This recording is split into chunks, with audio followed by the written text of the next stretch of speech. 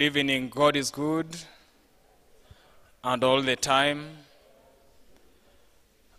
I want to welcome us on to this evening is study, and I want us to go direct to our quiz.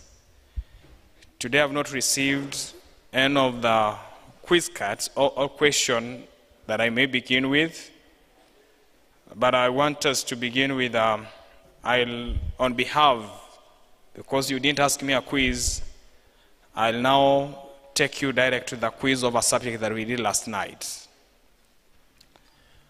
Hope each one of us has got uh, a quiz card. Is there anyone who has not received a quiz card or did not pick one from the ushers outside there? You, someone may attend to him. If you didn't pick or get a quiz card, you may be attended unto up there. Let's begin with uh, our first question. Let's begin with the first question. Uh, you will skip the first question if it is difficult for you, if you didn't cover the syllabus well. The first question is Is there a link between UFOs and the occult? Yes or no? Is there a link between UFOs and the occult? Yes or no? Number two, when Jesus comes again, it will be a secret event.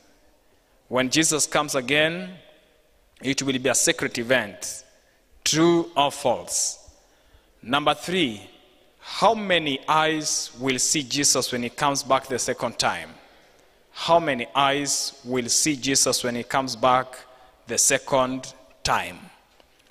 Number four, at the second advent of Christ, the righteous death will be resurrected. At the second advent of Christ, the righteous dead will be resurrected. True or false? Number five, list one of the five facts we discovered from the Bible that describe the second advent of Christ. List one of the five facts we discovered from the Bible that describe the second advent of Christ. That is number five. You name at least one. You name at least one. That is number five. Now that we're done, don't compare notes. I'm seeing someone look at the neighbor. Uh, you are so used to stealing exams until you can't respect the church. now, change your quiz card with your neighbor change your quiz card with your neighbor, change your quiz card with your neighbor, and you concentrate on the quiz card that you're marking, not on the one that is being marked. You concentrate on the quiz card that you're marking, not the one that is being marked. So fast, so fast, a little bit. Question number one Is there a link between UFOs and the occult? UFOs is unidentified flying objects. Is there a link between UFOs and the occult? Yes or no? The answer is yes. When Jesus comes again, it will be a secret event. True or false? False. How many eyes will see Jesus when he comes back the second time? Every eye. Every eye. Number four, at the second advent of Christ, the righteous dead will be resurrected. True or false? True. Number five, list one of the five facts we discovered from the Bible that describe the second advent of Christ. We have them there one, literal, visible, audible, climatic, and glorious. Is there anyone who did not score that? Unless you were not in class last night. This is a competent kind of seminar, so you need to be alert. Uh, how many scored 100%? You scored 100%. Ah, thank you. Amen, amen, amen. Hope the owners have received their quiz cards. Give back to their owners. How many got at least 80%, four of them right. You got four of them right. Aha, aha. Uh, someone who got 60 and above, that is three. 60, 60. You still 60, still a pass. It's still a pass. Okay. Thank you. May God be with you. You can write your prayer request at the back of the quiz card.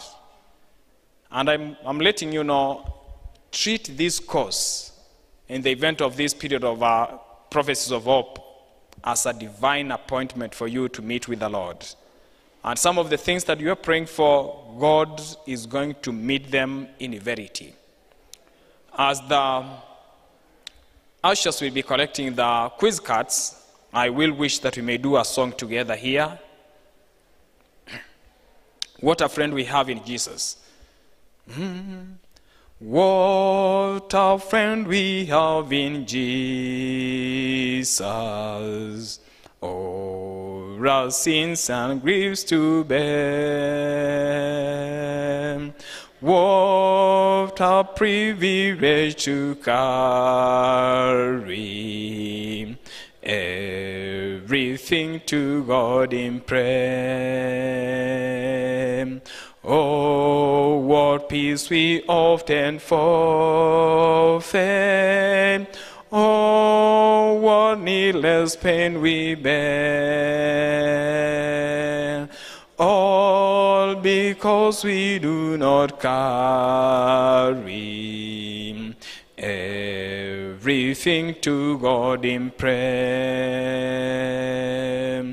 Are we weak and heavy laden?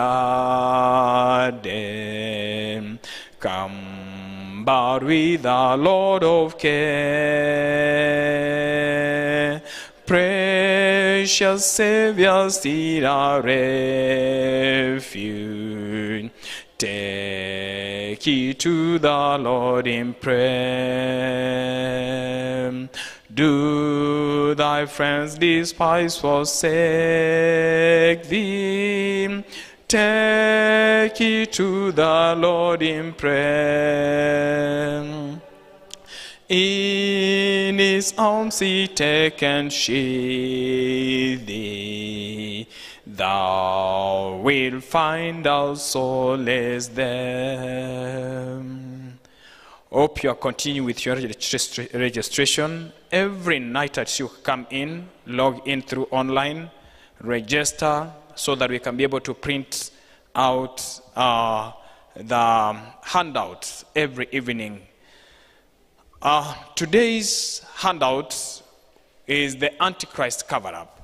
Today's handout is Antichrist cover up for those ones who are coming in.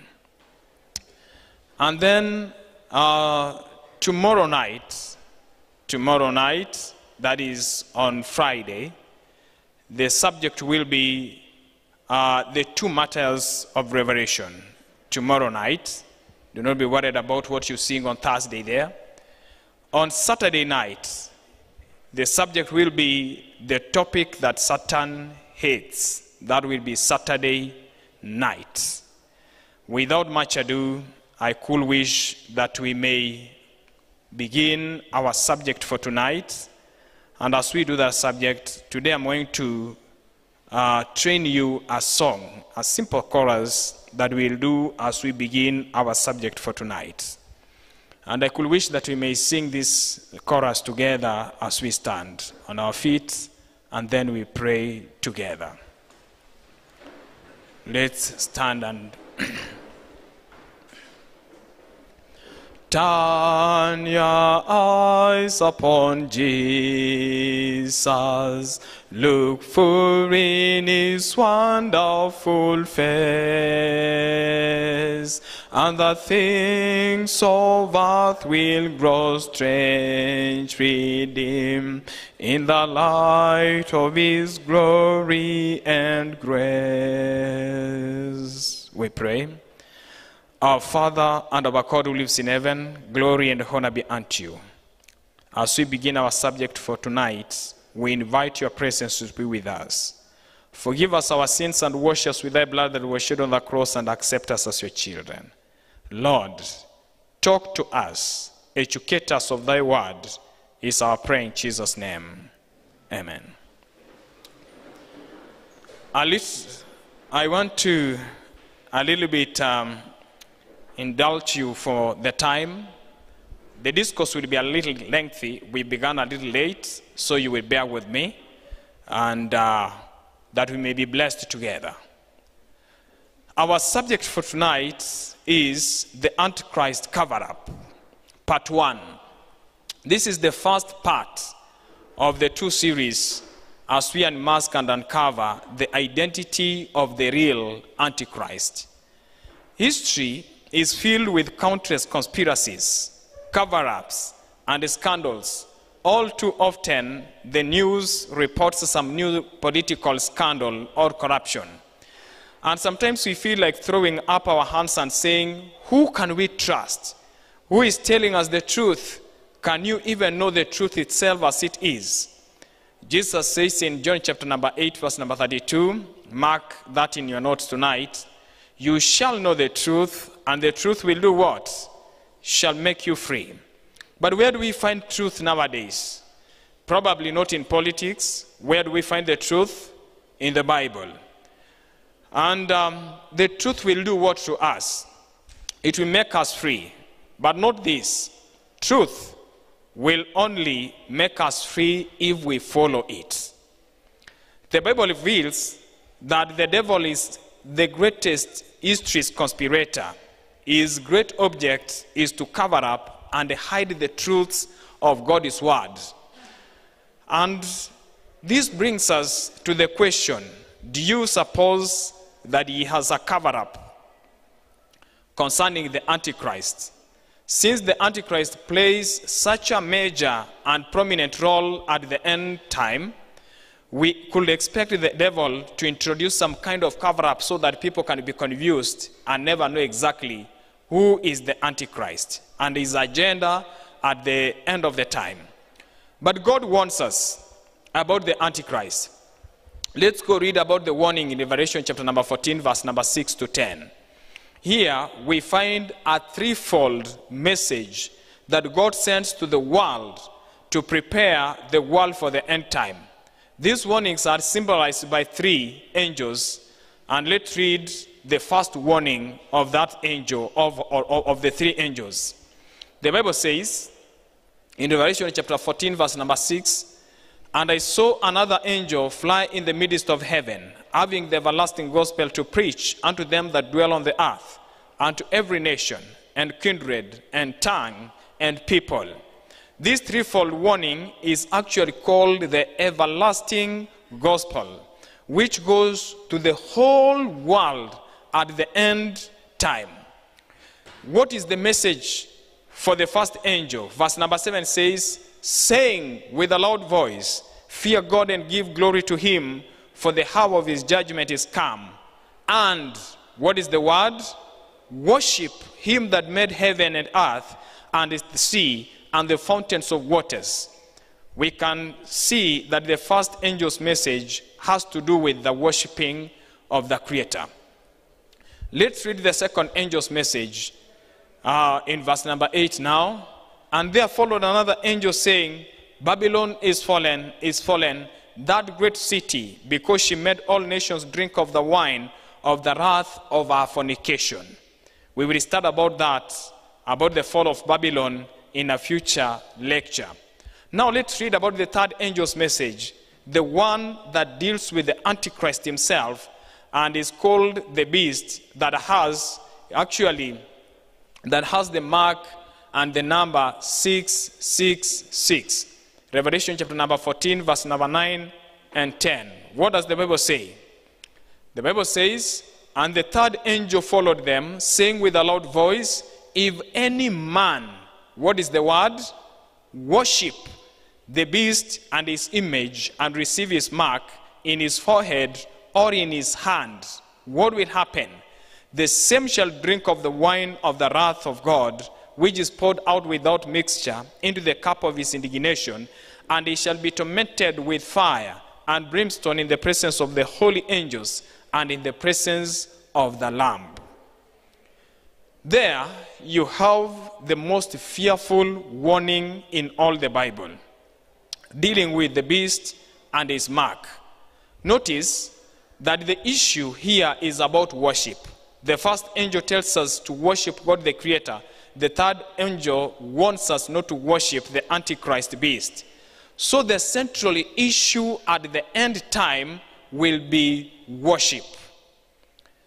Worship is actually a sensitive issue. Some of the bloodiest wars in history have been fought over the issue of worship. But when you study Bible prophecy, you discover that God reveals many things that are very sensitive.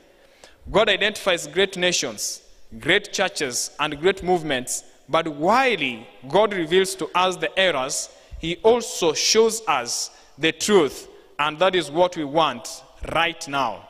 Because the truth will do what to us? Set us free, make you free. One thing is obvious since God has issued such a solemn warning to the world not to worship this Antichrist beast, we can know that God must have made this issue very clear in the Bible. Let's read again the warning. What is the warning here? The yellow words are for you to read. If any man do what? Worship the beast and his image and receive his mark, the same shall drink of the wine of the wrath of God. That is the last, the seven last plagues. And he shall be tormented with fire and brimstone. Since God has issued such a solemn warning as this, we can know that he must have made the identity of the Antichrist crystal clear in the Bible so that we can be able to choose not to worship the beast, all to receive his mark. And tonight, you will be amazed at all the clues we discover from the Bible concerning the identity of the Antichrist. The Bible tells us in Revelation chapter 13, verse number 8, and how many?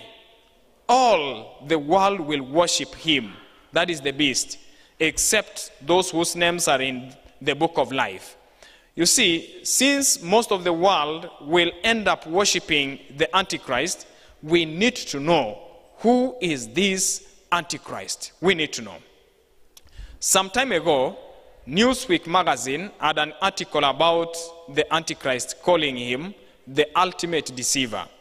The Antichrist is Satan's secret accomplice, a powerful human being who takes control of the world before the second coming. At different times, the Pope, Napoleon, Hitler, and Gorbachev have all been called the Antichrist. Well, that didn't help us at all in identifying the Antichrist. We still don't know who he is. We could go to the internet to find out uh, the Antichrist and who he is. You can find the answer to anything on the internet, on the internet, on the internet, more especially currently. Who does the internet say is the Antichrist? It is none other than Prince Charles of Wales. At least according to Tim Cohen in his book, The Antichrist and the, A Cup of Tea. How many think that Prince Charles is the Antichrist? How many think? Ah, none of us. The Bible says all the world will worship him. You will never get all the world to worship Prince Charles. Actually, the world was in love with his wife, Lady Diana. Uh, do we have Diana babies here? Anyone called Diana? Anyone? Ukisikia uh, mtu anaitwa Diana, alikuwa ni mke wa huyu msee. Well, if you don't think he is the Antichrist, the internet has another option of who the, inter, the, the Antichrist is. That is Bill Gates, the founder of Microsoft. And if your operating system malfunctions, you might even think that he is the Antichrist. Actually, it is this man's brain that makes me to eat on a daily basis. You see, I thank God, and I always say it from time to time, that preaching has been made easier, more especially for prophecy. I'm using PowerPoint to do projection. When we, when, uh, uh, before the PowerPoints, we used to preach prophecy using some charts and some canes. You stand on the pulpit and then you point into, into a chart explaining to people. PowerPoint has solved a number of tussles that we could not. And we thank God for this man's mind. Actually, he even looks like an antichrist when you put some horns on him. How many of you think Bill Gates is the antichrist? You think he's the antichrist? Bill Gates? Aha, none. None of us. Of course not. The whole world will never worship him.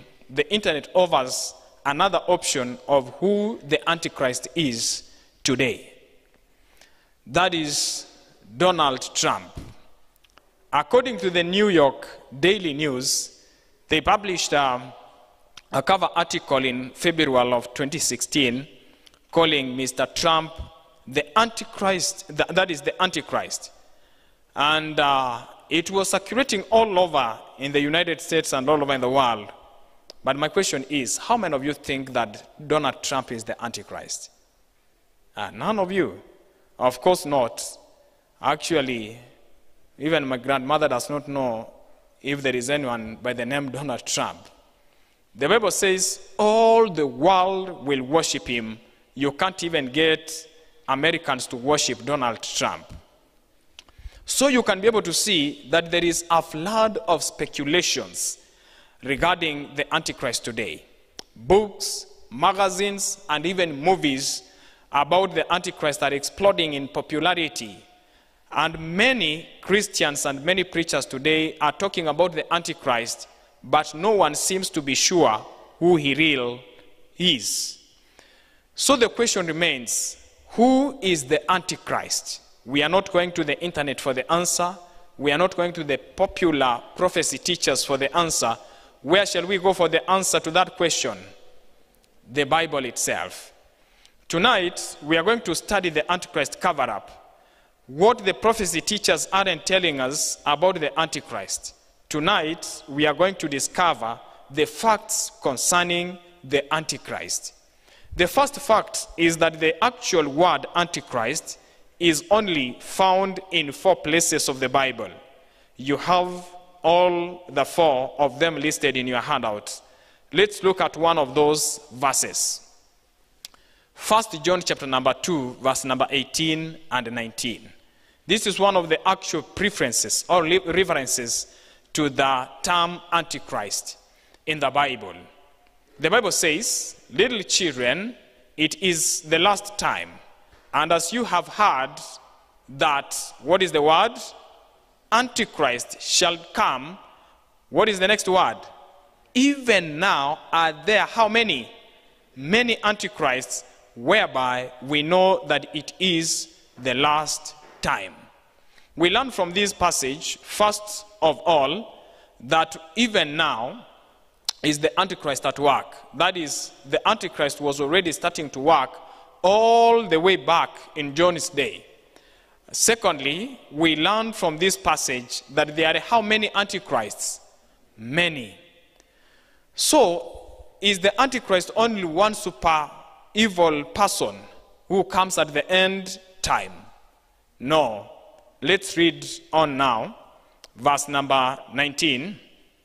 They, that is the Antichrist, went out from us, but they were not of us. For if they had been of us, they would no doubt have continued with us. But they went out that they might be made manifest that they were not all of us. We learn from this verse that the Antichrist actually comes from inside the church. Why? They, the Antichrist, went out from us. John says, so the Antichrist actually comes from inside the church. This is a fact that most prophecy teachers overlook today. Let's review the amazing facts about the Antichrist that we have learned so far. First of all, there are how many Antichrists? Many Antichrists. Secondly, they come from where? Inside the church. They, the Antichrist, went out from us. John said. And number three, these many antichrists are what? Are here now. Beloved, John saw the antichrist developing all the way back in his day. These are the things that most of the prophecy teachers are not telling us about the antichrist. Can you begin to see some cover up concerning the antichrist himself? That is the issue. In addition to the term antichrist in the Bible, there are symbols of the antichrist, and it is from the symbols that we discover most of the clues concerning or regarding who the antichrist really is. One of the symbols of the Bible symbols of the antichrist is the man of sin, that is the son of perdition, found in Second Thessalonians. Virtually all Bible scholars agree that this is a symbol of the Antichrist. However, this does not mean that the Antichrist is only one man, because St. John said there are how many Antichrists? Many. Even now, there are many Antichrists. That is 1 John chapter 2, verse number 18. So this is not just one man. Let's read about the man of sin. Let's read about the man of sin. 2 Thessalonians chapter 2, verse number 3. The Bible says, Let no man deceive you by any means, for that day shall not come.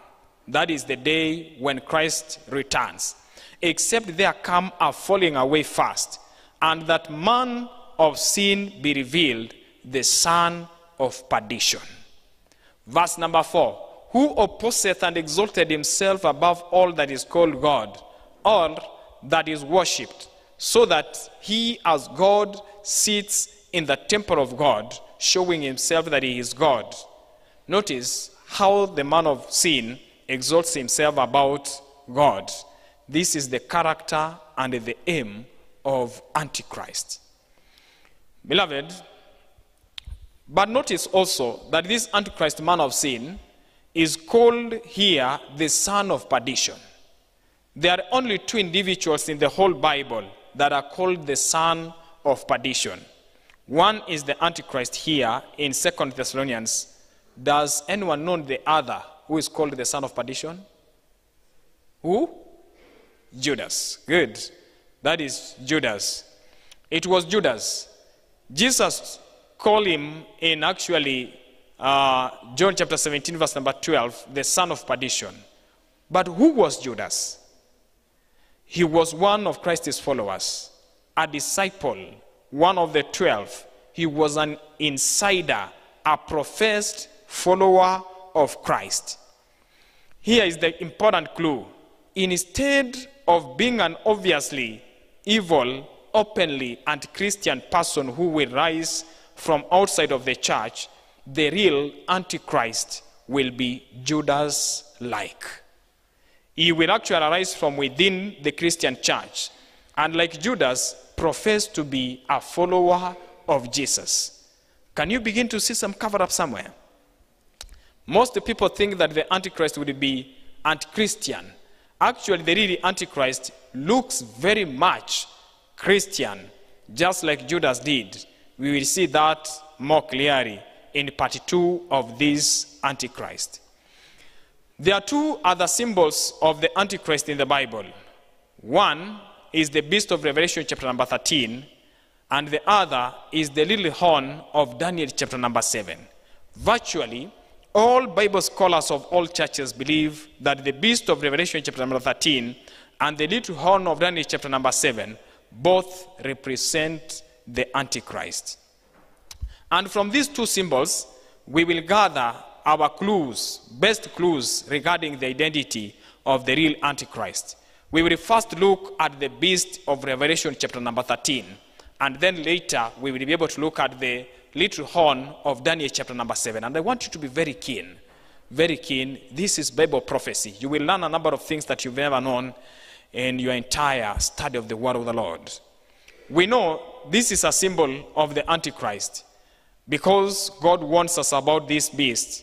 This is the beast with the mark and the number 666. Let's read the warning again from Revelation chapter number 14, verse number 9 and 10. The Bible says, And the third angel followed them, saying with a loud voice, If any man worship there and his image and receive his mark in his forehead or in his hand, what will happen? Actually, this is the beast that has the number 666. Revelation chapter number 13, verse number uh, 18 tells us so. Let's go look at this beast. Revelation chapter 13, verse number 1 to 3. Let's look at the beast. Here, John sees the Antichrist beast in vision. Actually, are you able to see the beast? Ah, good.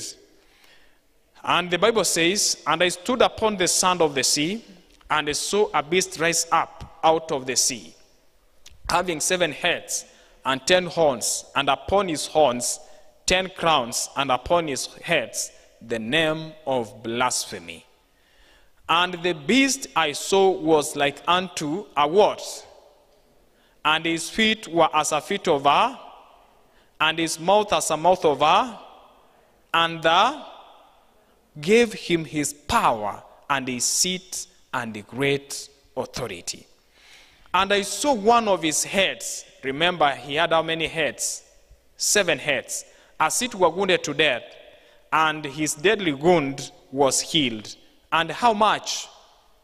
All the world wondered after the beast. Here is one artist's conception of what the beast may have looked like. Uh, here is another painting of what that beast may have looked like. Question How many of you have ever seen such a kind of an animal in uh, an animal zoo? You've ever seen such a kind of an animal? Okay.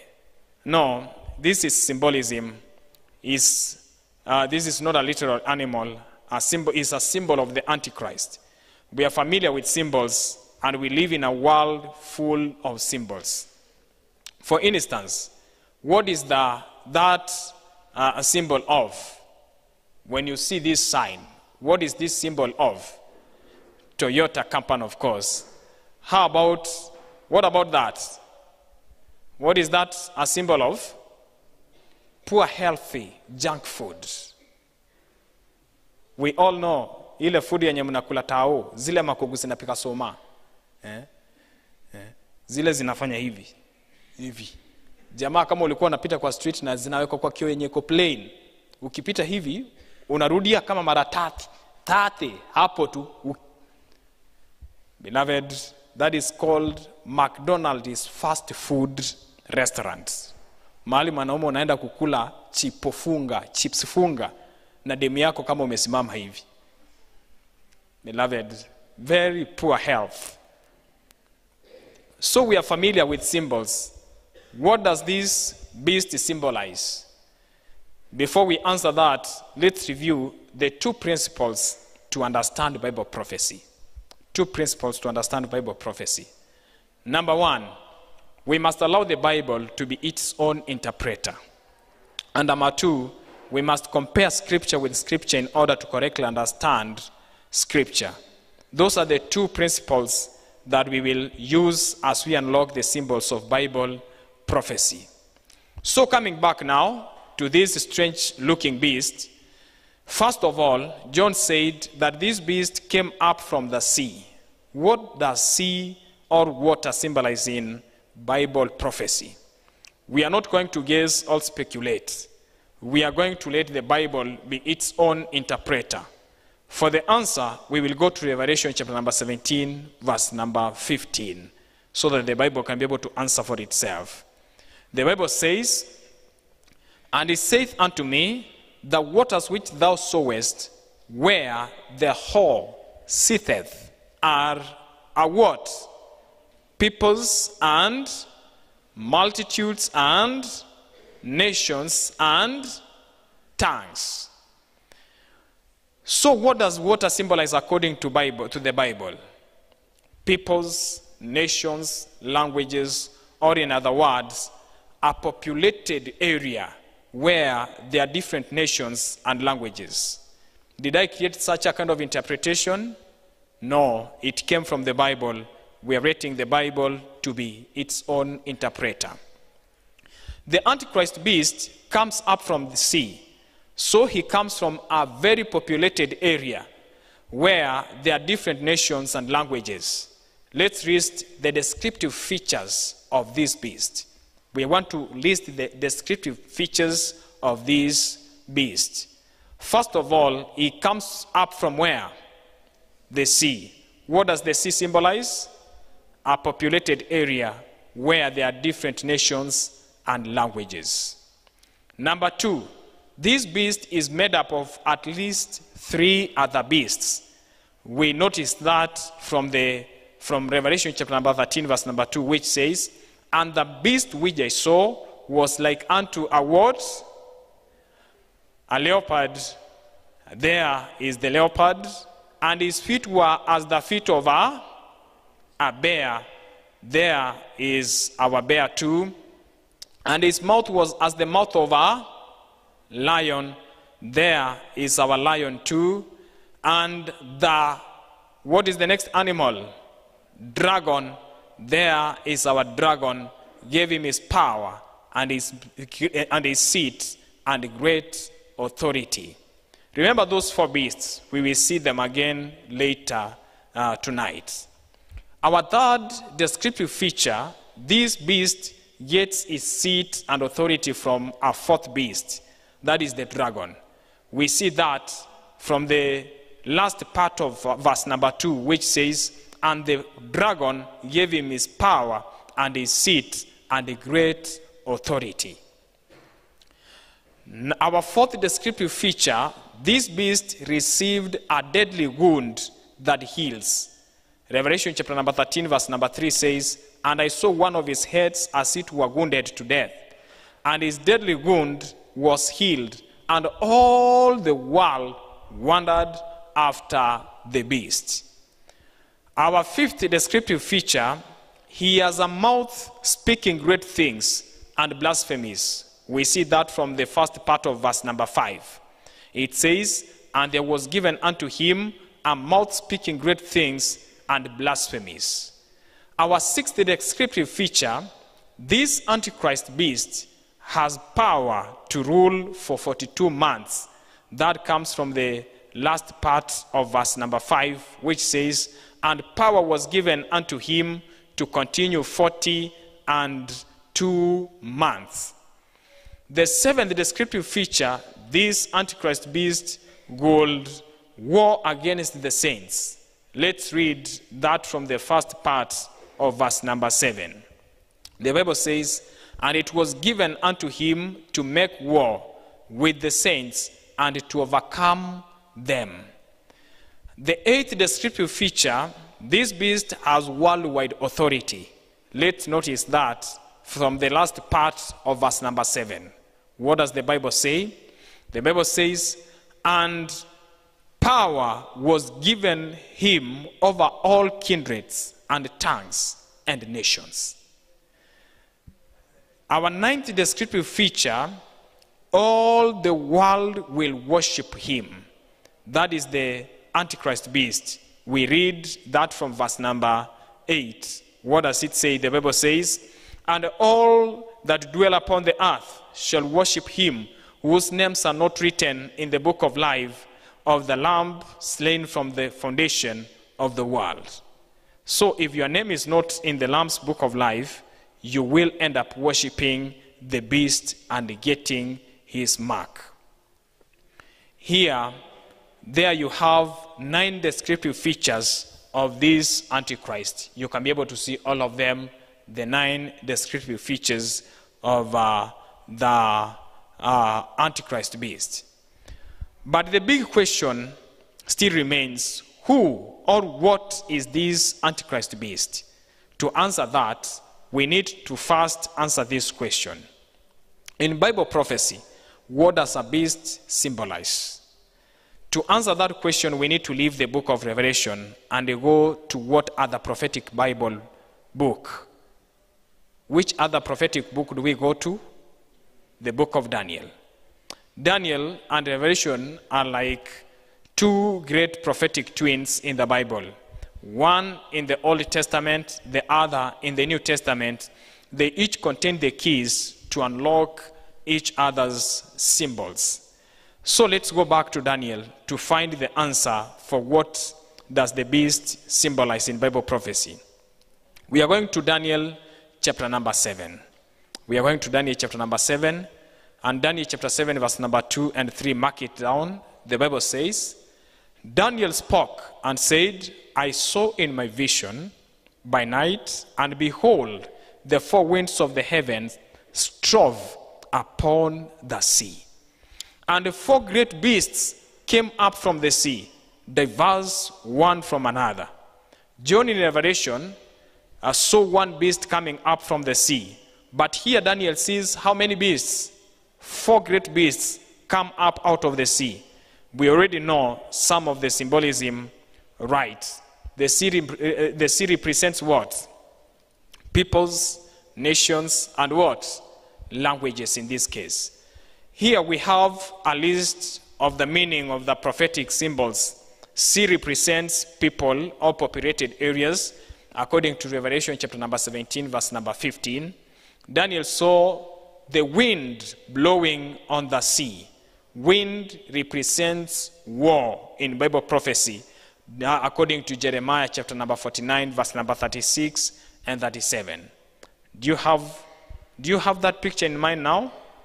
It should be there.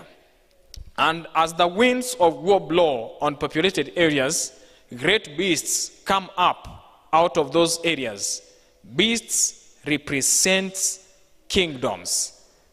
Beasts represent kingdoms, according to Daniel chapter 7, verse number 17. Let's read that. We need to read that. These great beasts, which are four, are four kings which shall arise out of the earth. To be a king, you must have a what? A kingdom. So these four beasts symbolize four kingdoms. In Bible prophecy, beasts represent or symbolize kingdoms. Let's add another text to establish that fact. Daniel chapter number 7, verse number 23. The angel said to Daniel, Thus says, thus he said, the fourth beast shall be the fourth kingdom upon earth. In Bible prophecy, a beast symbolizes what? A kingdom or a nation. Did we make up such a kind of interpretation? No, that is what the Bible itself teaches. Daniel saw four great beasts representing four great kingdoms or nations. Just as that symbol represents the Toyota automobile, so in prophecy, we now know that a beast represents a kingdom or a nation. Even today, we use animals to symbolize nations. We speak of the American eagle and the Russian bear. God used beasts long ago in Bible prophecy to symbolize kingdoms. We know then that the Antichrist beast of Revelation chapter number 13 must symbolize some kingdom. No doubt the man of sin will be the head of the kingdom, almost like a dictator. But the Antichrist beast is more than a man, it is a kingdom. It is not the Kenyans, by the way, but the beast with the mark and the uh, number 666 is a kingdom. This is another point that the prophecy teachers are not telling us. Daniel saw four beasts representing four kingdoms. Remember the four kingdoms symbolized in the metallic image of Daniel chapter number 2. Therefore, we know from history that there have been only four universal empires. Several times in the book of Daniel, God symbolizes these empires. First in Daniel chapter number 2, then in Daniel chapter number 7, then in Daniel chapter number 8 and 9, and then finally in Daniel chapter number 11. Each time God adds more details about these beasts or kingdoms. So these four beasts represent the four universal kingdoms of the past. Let's take a more careful look at these four kingdoms. Let's begin in Daniel chapter number 7, verse number 4. The first beast, if you are taking notes, mark down the text. The Bible says in Daniel chapter 7, verse number 4, the first was like a lion, and had eagle's wings. I beheld till the wings thereof were plucked, and it was lifted up from the earth, and made stand upon the feet as a man, and a man's heart was given unto it. This is the first beast, all the first what? Kingdom. Who knows what was the first universal empire to ever rule the world? What was the first universal empire? That was Babylon. That was Babylon. Even today, on the ruins of Babylon, you can see the winged lion. The winged lion has always been a symbol of Babylon. Babylon was symbolized by the golden head of the metallic image of Daniel chapter number 2 and the winged lion of Daniel chapter number 7. Babylon was the first universal kingdom symbolized by the king uh, of beasts, the lion, and the most precious gold, the metal that is gold. The lion, Babylon, has the wings. What do wings represent in Bible prophecy? Wings represents speed of conquest. If you want a text to prove that, mark down Habakkuk chapter 1, verse number 6 to 8. The wings symbolized how Babylon very quickly conquered the then known world. Babylon ruled from 605 to 539 BC. Let's read Daniel chapter number 7, verse number 5 now. And behold, another beast, a second like to a bear, it, and it raised up itself on one side, and it had three ribs in the mouth of it, of it between the teeth of it, and they said unto it, Arise and devour much flesh.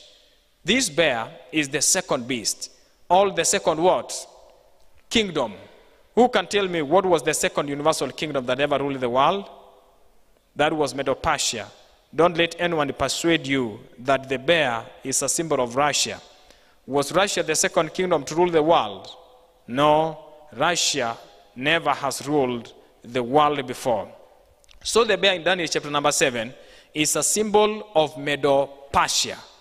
The Bible said uh, that this bear is raised up on one side. No doubt that it is to, that is to show that the Persians will become stronger than the Medes in this joint empire. You see, these are joint empires, the Persians and the Medians, but the Persians were more stronger than the Medians, and that is why it was raised on one side. The Bible also says that this bear had three ribs in its mouth. The, the three ribs in its mouth probably represent the three provinces made Medo-Persia conquered 100 years ago. Let's move on to the third beast now.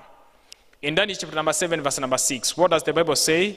After this I beheld, and lo, like a, uh, uh, uh, and lo, another like a leopard, which had upon the back of it four wings of a fall. The beast had also four heads, and dominion was given to it. This is the third beast, or the third what? Kingdom. That was Greece.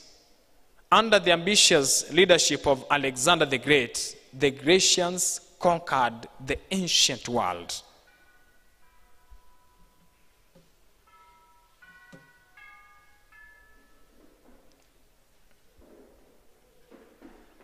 The Grecians conquered the then known world.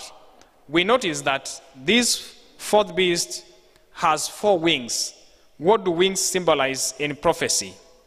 speed of conquest. Four wings then will mean great speed. Notice that what the encyclopedia says about Alexander the Great. This is the encyclopedia. It says, Alexander was one of the greatest generals of all the, of all the time, noted for his brilliance of, as a tactician and a troop leader and for the rapidity with which he conquered or he could be able to traverse great expanses of territory. It actually said that in just 11 years, Alexander and his army battled their way by foot across 35,000 kilometers, traveling all the way to India. But although Alexander the Great conquered the world, he could not conquer himself. He died of an of indulgence of alcohol. And actually, it is said that uh, Alexander the Great was intemperate.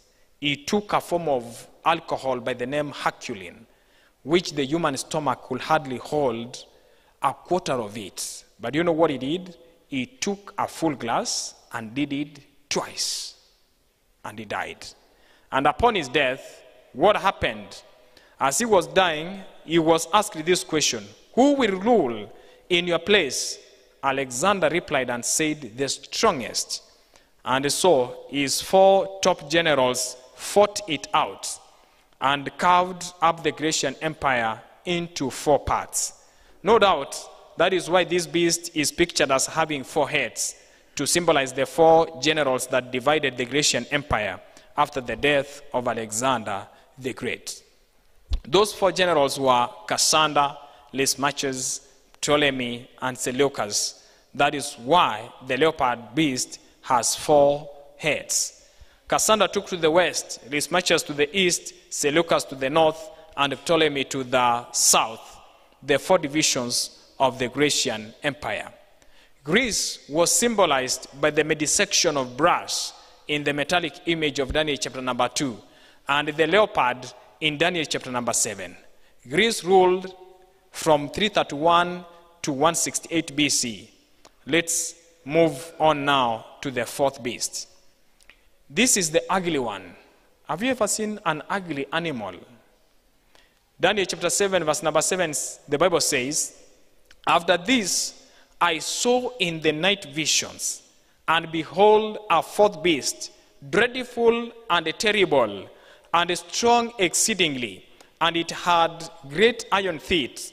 It devoured and brake in pieces, and stamped the rescue with the feet of it, and it was diverse from all the beasts that were before it. And it had how many? Ten horns. This is the fourth beast. All the fourth what? Kingdom. Remember, the angel told Daniel uh, in Daniel chapter 7, verse number 23 Thus he said, The fourth beast shall be the fourth kingdom upon earth. Who knows what was the fourth universal kingdom? What was the fourth universal kingdom? That was Rome. That was Rome. Rome was symbolized by the iron legs in Daniel chapter number 2 and the dragon like beast in Daniel chapter number 7 with iron teeth. Rome ruled from 168 BC down to 476 AD. Here, I want you to remember date. I want you to remember date AD 76. That is the date when Rome fell. Can you remember that date? Oh, yes. When had Rome fallen? What was that date? 476 AD. Remember that because I will quiz you on that later tonight as we study. When, uh, uh, when uh, uh so the four beasts of uh, Daniel chapter number 7 uh, represent the four universal empires of the past. Here is a prettier painting of those four beasts. You can be able to see it clearly here. The lion represents which kingdom? The bear represents which kingdom? The leopard with four heads and four wings represents what kingdom? Greece. Um, and the dragon like beast with ten horns represents which kingdom? Rome. Four universal kingdoms of the past. The fourth beast, Rome, had how many horns? Ten horns. What do they represent? We find the answer in verse number 24. We find the answer in verse number 24. Daniel says, Daniel 7 verse 24 says, And the ten horns out of this kingdom are ten kings that shall arise. To be a king, you have to have a what? A kingdom. And out of Rome came ten horns, all ten kingdoms. Remember the ten toes of, on the image of Daniel chapter number 2. They represent the ten kingdoms that came from the ancient Roman Empire. Likewise, the ten horns symbolize the ten divisions of Rome. Here we have a map of those original ten kingdoms that came out of the ancient Roman Empire. Seven of the original ten are still in existence today. Uh, three have become extinct that is, the Heruli, Vandals, and the Ostrogoths. What happened to them? We will find the answer in Daniel chapter 7, verse number 8. We will find the answer in Daniel chapter 7, verse number 8. Daniel says, I considered the horns, meaning that so he was looking at the 10 divisions of the Roman, the ancient Roman Empire, or Western Europe, symbolized by these 10 horns. And I behold, and, and behold, there came up among them another little horn, before whom there were three of the first horns plucked up by the roots. And behold, in this horn were eyes like the eyes of a man, and a mouth speaking great things. So, as Daniel looks at the ten divisions of the Roman Empire, or Western Europe, as we know it today, he sees another little horn are you seeing the little horn? He sees another little horn coming up among the ten. And this little horn uproots three other horns the Heruli, the Vandals, and the Ostrogoths. The next question, of course, is who or what is this little horn? The little horn of Daniel chapter number 7 actually turns out to be the same as the beast of Revelation chapter number 13. Both symbolize the Antichrist, and we will find more clues about the identity of the Antichrist or the real Antichrist from this little horn of Daniel chapter number 7 than anywhere else in the Bible. So, who is this little horn? Who is this little horn? God does, God does not name the little horn for us, but He gives us many clues here in Daniel chapter 7. Let's list the clues. Actually, we find our first clue from the book of Daniel, chapter number 7, verse number 8. Our first clues. We want to know who is this little horn? Here, Daniel says, I considered the horns, so where is he looking? At the Western Europe, because that is where the ten horns were located. And behold, there came up among them another little horn. You can see another little horn here. Be careful. So, our first clue this little horn comes up among the ten divisions of the ancient Roman Empire. That means the Antichrist comes from somewhere in Western Europe because that is where the ten were located Someone once asked if the Antichrist will come from the Middle East. No, the Antichrist comes from somewhere in Western Europe. Let's go. Let's get our next clue from verse number 24. The Bible says, And the ten horns out of this kingdom are the ten kings that shall arise, and another shall arise after them, and he shall be diverse from the first, and he shall subdue three kings. So the, this little horn comes up after the ten, or after what date? When did Rome fall? When did Rome fall? AD 476. So our second clue, the Antichrist will have to arise after 476 AD. Why? Because Rome, the fourth beast, didn't fall until 476. The ten horns did not rise till 476. Since the little horn comes up after the 10, it has to arise somewhere after 476 AD. Don't miss this point. It is only as we look to the past that we can correctly identify the true Antichrist and discover who he is and his role at end time. Most of the people are looking forward to the future for the Antichrist. Can you identify something you don't even think exists yet? Of course not. Uh, and that one makes you to think can you be able to see some cover up somewhere here concerning this? Oh, yeah. John saw the Antichrist developing in his day, and so did Paul. So we must look to the past to correctly identify the really Antichrist beasts. Let's get our next clue now, also from verse number 8. Daniel says, I considered the horns, and behold, there came up among them another little horn. So, our third clue this is a little horn or a little kingdom. Not a big kingdom like Portugal or Spain or Switzerland or something like that, but rather a very, a very little kingdom. That is clue number three. Our fourth clue also comes from Daniel chapter number 7, verse number 8. Daniel says, I considered the horns, and behold, there came up among them another little horn, before whom there were three of the first horns plucked up by the roots. So, our fourth clue, uh, the little horn uproots three. We know from history those three were the Heruli, the Vandals, and the Ostrogoths.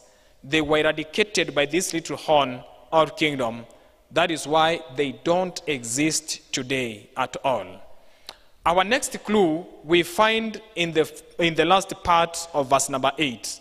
The Bible says there, Behold, in this horn were eyes like the eyes of a what? Of a man, and a mouth speaking great things. This little horn has eyes in it, eyes like the eyes of a what? Of a man. So the fifth clue, this kingdom will have a human leader who speaks for it. Because this horn has the eyes of a man and a mouth speaking. Our next clue is from verse number 24. Daniel 7, verse 24, the Bible says, And the ten horns out of this kingdom are the ten kings that shall arise, and another shall arise after them, and they shall be diverse, all different from the first, and they shall subdue three kings. Our sixth clue this little kingdom or horn will be diverse or different from all the others, a different type of government from all the others in Europe. The next clue is from verse number 25. Daniel 7, verse 25 says, And he, that is the little horn, symbol of the Antichrist, shall speak great words against the Most High. Verse number 8 said that he had a mouth speaking great things. Revelation chapter number 13 said, The beast speaks great things and blasphemies. Great words against God will be blasphemy. So the little horn blasphemes God. We will put that as our seventh clue blasphemy. The little horn, Antichrist, blasphemes God. That brings us to the question what is blasphemy? Let's get a Bible definition. There are several, but we will look at just one tonight. John chapter 10, verse number 30 to 33. Jesus, when Jesus was here on earth, he said, I, I and my Father are one. Then the Jews took up stones again to stone him. They were offended by what he said. And Jesus answered them, Many good works have I shewed you from my Father. For which of those works do you stone me? Jesus, the Jews answered him, saying, For a good work we stone thee not, but for a what? blasphemy, and because that thou, being a man, makest thyself God. So, according to the Bible, blasphemy is when a man makes himself God on where? On earth. Of course, for Christ, that was not blasphemy. He is God. When he walked here in this world, he was God. But for, for any man to claim to be God on earth, that will be blasphemy. Remember what Paul said concerning the man of sin in 2 Thessalonians chapter 2 verse number 3. Who opposeth and exalted himself above all that is called God, all that is worshipped, so that he as God sits in the temple of God, showing himself that he is God. See, the Antichrist makes himself God on earth. That is what we call blasphemy. So, number seven, they need to horn blasphemes God. Number seven, blasphemy. Our eighth clue comes from Daniel chapter 7, verse number 25 and number 21. The Bible says, And he shall speak great words against the Most High, and shall wear out the saints of the Most High. Then verse number 21 says, I beheld, and the same horn made war with the saints, and prevailed against them.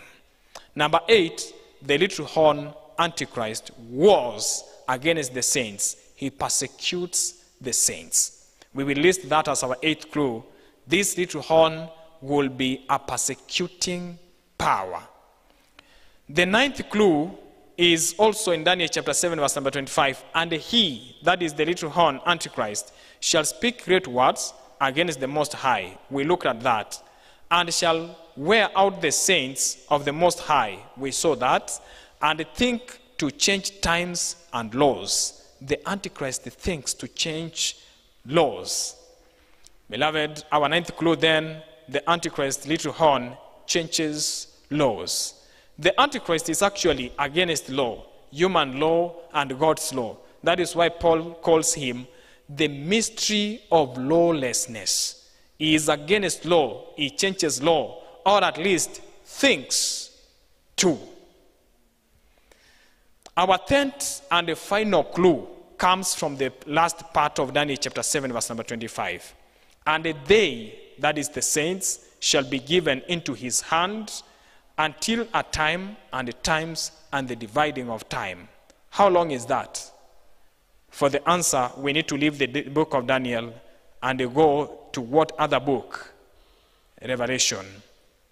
Revelation chapter 12, verse number 14, the Bible says, And to the woman were given two wings of a great eagle that she might fly into the wilderness, into her place where she is nourished for a time and times and have a time from the face of the serpent. That is, that is the same time period, time, times, and have a time. How long is that? Let's go back to verse number 6 for the answer. Revelation chapter 12, verse number 6. The Bible says, And the woman fled into the wilderness, where she has a place prepared of God, that they should feed her there. For how long? A thousand two hundred and three score days. That is 1,260 days. So a time, times and have a time, one th- is equals to 1,260 days. How did we figure that? Evidently, time is singular, that is one year, times, plural, will be two years, and I have a time will be I have a year. What does that one add up to? That adds up to three and a half years. And if we use the Bible formula of 30 days to the month, three and a half years will be exactly 1,260 days. So time times and a half a time is the same as 1,260 days. But we are studying a prophecy. And in Bible prophecy, a day represents what? A year. Here again are the texts. Ezekiel chapter 4, verse number 6, God says, I have appointed thee each day for a year. Numbers chapter 14, verse number 34, each day for a year. So in Bible prophecy, one prophetic day equals one literal year. We have three and a half prophetic years. That will be 1,260 prophetic days, or what? 1,260 literal years that this Antichrist power will rule the world. Daniel chapter 7, verse number 25 the saints will be given into his hand until a time and times and the dividing of time, or 1,260 years. So, clue number 10 the Antichrist will rule for 1,260 years. We recognize immediately that we must look to the past for the fulfillment of this prophecy. There is not going to be 1,260 years in the future when the Antichrist reigns. And of course, John told us that the Antichrist was already beginning to develop back in his day. So, this prophecy will clearly have to be in the past. And we know that the Antichrist will rule at the end time. But we also recognize from what we've studied that the Antichrist has also ruled in the past.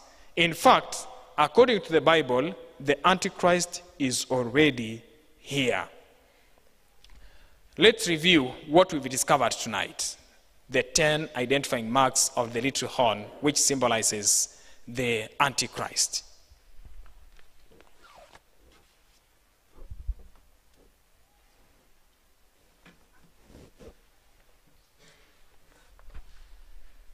Let's review what we've studied tonight. Among the 10, number one, we've studied that the little horn will arise among the 10. Number two, after 476. Number three, a little horn or a little kingdom. Number four, it uproots three. Number five, it is it has a human leader.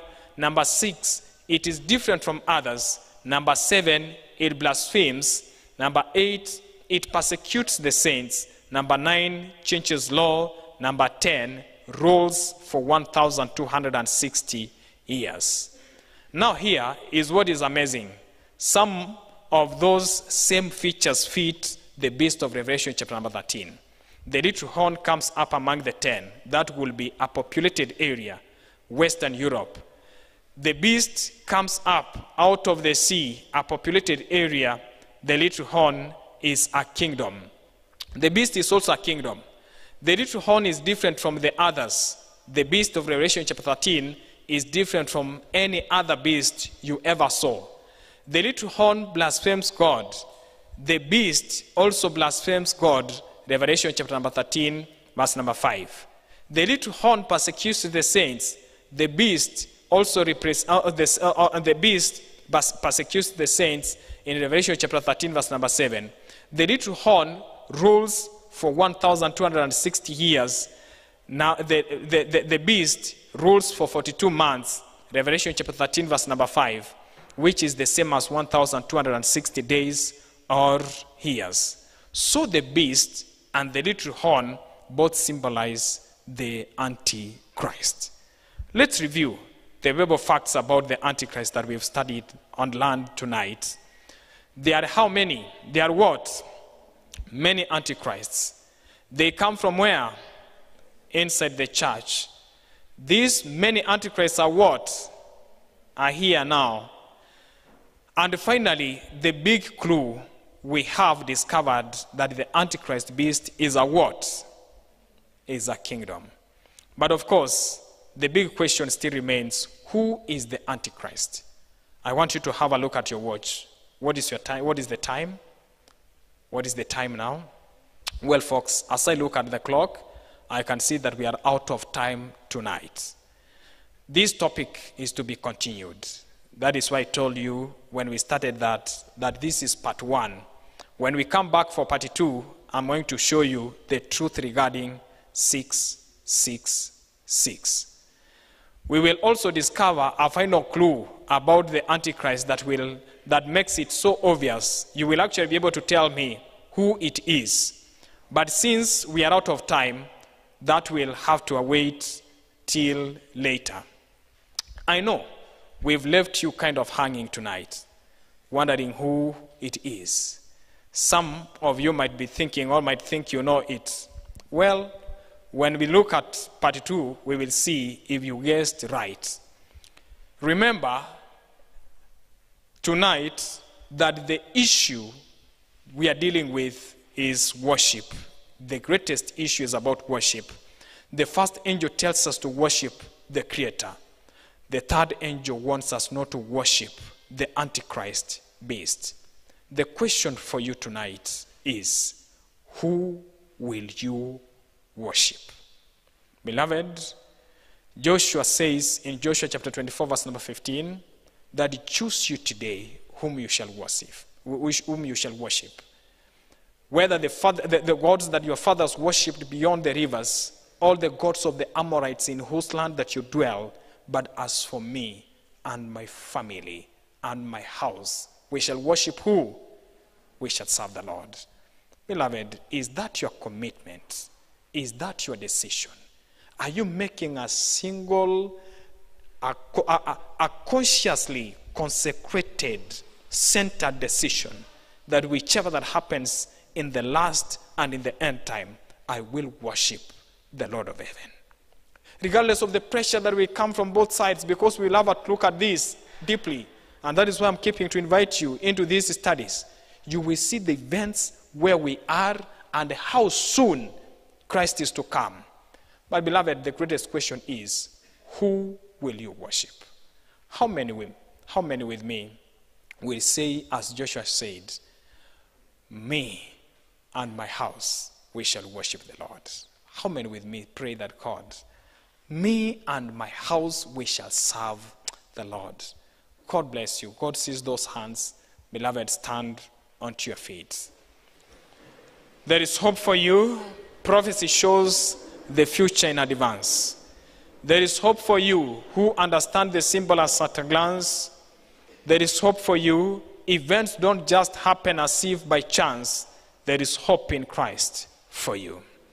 There is hope for you. Antichrist will the world deceive. There is hope for you who on the word of God believe.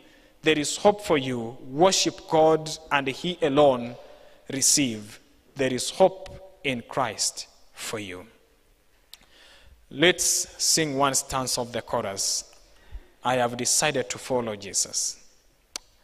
As we end our study tonight, I have decided to follow Jesus.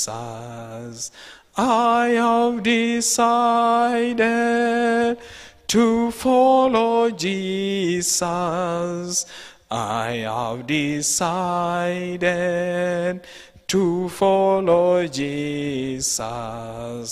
No turning back, no turning back. We can sing once again well. I have decided to follow Jesus. I have decided to follow Jesus. I have decided to follow Jesus. No turning back, no turning back. Let's pray. Our Father and our God, we are so grateful for your providence. We thank you, Lord, for the opportunity to worship you and to call upon you.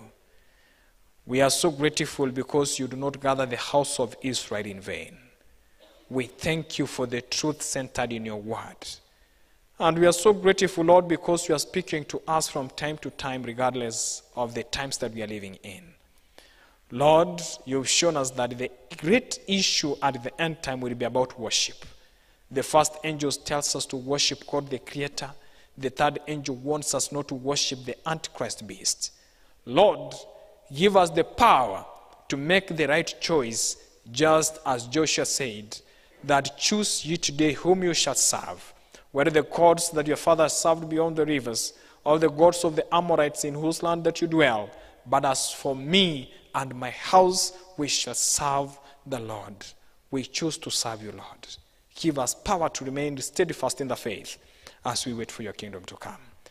Lord, bless each one of us. Your children who are making up into this hall every night. I pray when you bless the rest of the world, do not pass by them. Make them, Lord, heads and not tails even in the academics. Lord, I pray that as they have spent this hour here tonight, bless them mightily, Lord, even as they peruse through their revision for the cards that they're having. In Jesus' name, bless their minds. Lord, I pray that you may open the doors of heaven for them. Many of them were coming out of the school this year. Many of them going praying that they may go out with a life partner. Many of them praying that, Lord, you may bless their uh, finances. Many of them that you may bless their families. Many of them praying for their friends. In Jesus' name, hearken unto our prayers. Work a miracle tonight, Lord. Meet us at our point of need. Quench the deepest desires of our hearts. Help us now. Even as we look forward to meet again tomorrow for another discourse, bless us mightily is our prayer in Jesus' name. Amen. Beloved, our subject for tomorrow will be the two martyrs of Revelation. The two martyrs of Revelation. Another fascinating discovery from the last book of the Bible. Don't miss it. Beloved, I want to wish you God's blessings, but before that, I promise to give you some presents, and I want to recognize that. How many invited friends? You invited a friend, and a friend came. How many invited friends? Let me see by the show of hands. You invited, ah, thank you. God bless you, my sister. God bless you. God bless you. Where are the visitors who were invited? Where are they? I want to recognize the visitors who came. Thank you, thank you. Stand onto your feet. I have, a, I have presents for you tonight. Stand onto your feet. The visitors who came, you're my visitors tonight. Thank you, my sister. Thank you. God bless you. God bless you. You were invited and you came. I want to see you. The visitors who came, uh, someone else who was invited and came, let me see, by the show of hand. You can't stand. I want to give you out presents tonight. Brother Ken, you can come and pass them over to on my behalf. Uh, you can't give the. I have uh, two brothers on the aisle, and then uh, we have two, three sisters. God bless you mightily. I want to uh, let you know that as you've been invited and you've come, invite your friends too. Invite your friends. I remember I made a Christ, I, met, I remember I became a preacher because I attended a meeting like this some 12 years ago. I was a first year in 2010. And uh, my parents had taken me to school to do telecommunication and information engineering, only to be turned out to be, to change my course into engineering people to God. Praise the Lord. Beloved, I do not underrate the goodness of the Lord concerning these kind of studies. I want to wish you God's blessings. I want to keep inviting you, invite your friends, pray for them above all other things. On Sabbath, during the divine hour, our subject will be the United States of America in Bible prophecy. I want you to know the nation and the great nation that people are dying to go to. People applying for visas. Come, see the end of the United States of America in Bible prophecy. I wish you God's blessings. May God be with you.